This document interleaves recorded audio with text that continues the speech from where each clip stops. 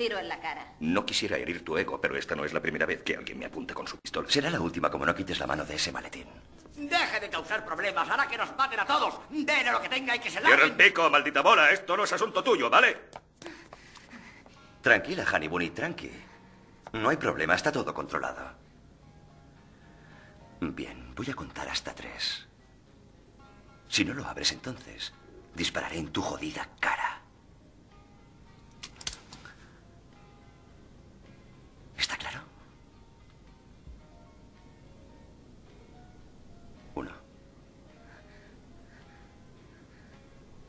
Dos.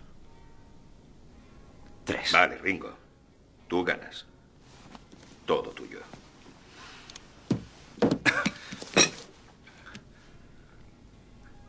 Ábrelo. ¿Qué hay dentro? ¿Qué es? ¿Es lo que pienso que es?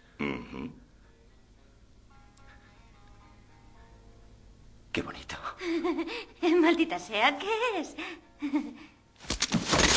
¡Suéltale!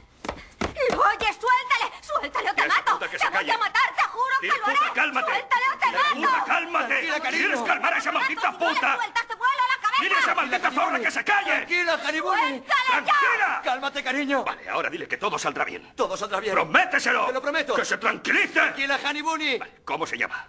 Yolanda. ¿Lo oyes, Yolanda? No vas a hacer ninguna tontería, ¿verdad? No le hagas daño. Nadie le hará daño a nadie, ¿vale?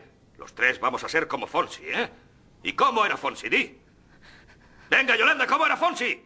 Tranqui, ¿Qué? tranqui. Exactamente. Y así es como vamos a estar. Vamos a estar tranquis. Bien, Ringo. Voy a contar hasta tres. Y cuando llegue a tres, quiero que sueltes tu arma, pongas las manos sobre la mesa y sientes tu culo ahí. Pero cuando lo hagas, hazlo tranqui.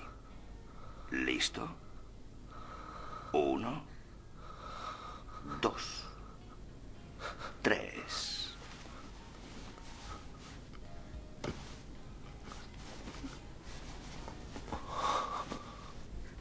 Vale, y ahora deja que se vaya. Yolanda, creí que ibas a calmarte.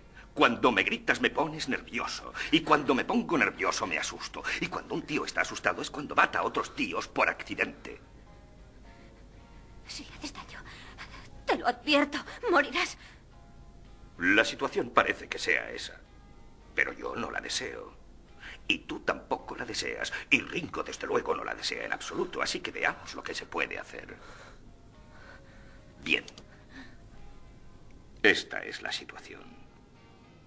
Normalmente los dos ya deberíais estar tan muertos como el pollo frito. Pero habéis montado esto durante mi periodo de transición y no quiero mataros. Os quiero ayudar.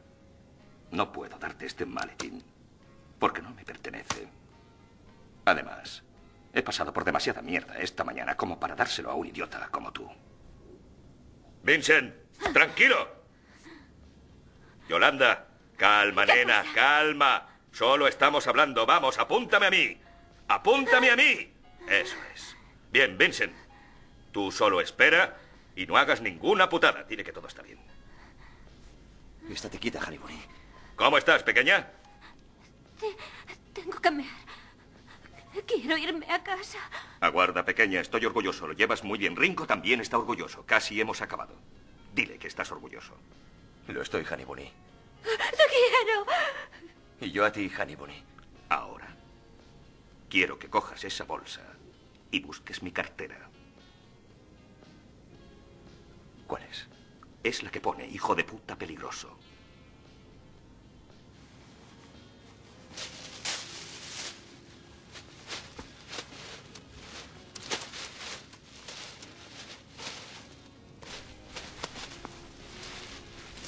Esa es. Es mi hijo de puta peligroso. Ábrela.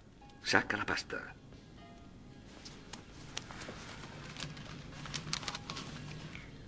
Cuéntala.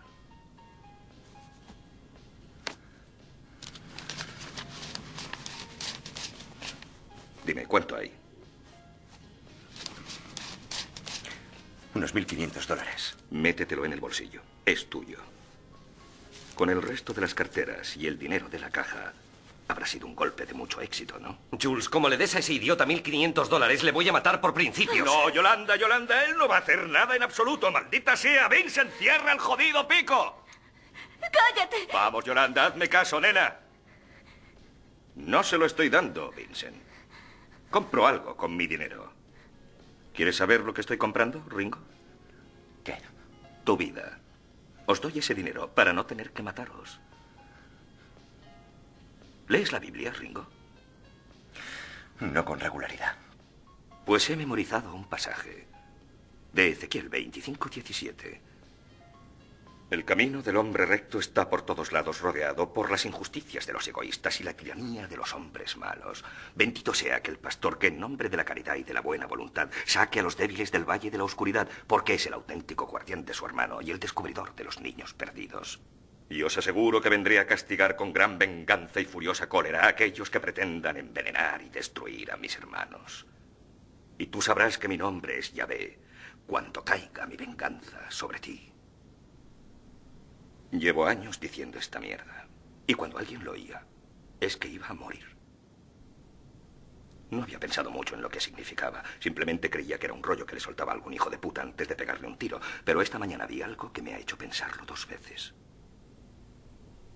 Ahora se me ocurre que tal vez significa que tú eres el hombre malo y yo soy el hombre recto. Y que el señor nueve milímetros es el pastor que protege mi recto culo en el valle de la oscuridad. O será tal vez que tú eres el hombre recto y yo soy el pastor.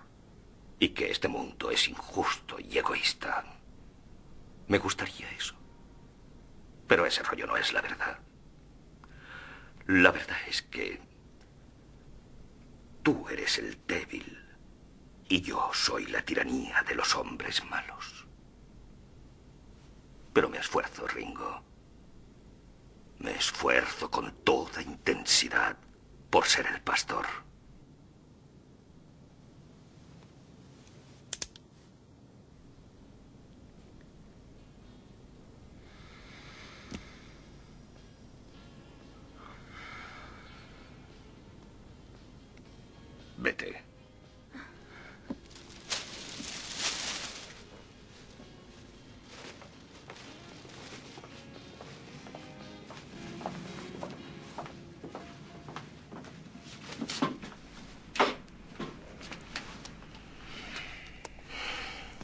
Creo que ahora deberíamos irnos.